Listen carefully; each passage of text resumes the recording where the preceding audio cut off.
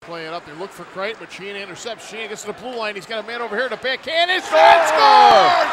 What a Oh. great job! The first point for Sheehan, and they'll knock it home as Brent Vandenberg, a freshman, will get his second goal of the season with a nifty, nifty backhand. There you see Vandenberg, and Sheehan picks up his first point, and it, uh, What a what a great shot! What a uh, I don't think the uh, uh, what you call it uh, Ostergard was even expecting that shot, Jim, as he as he took that quick snap back.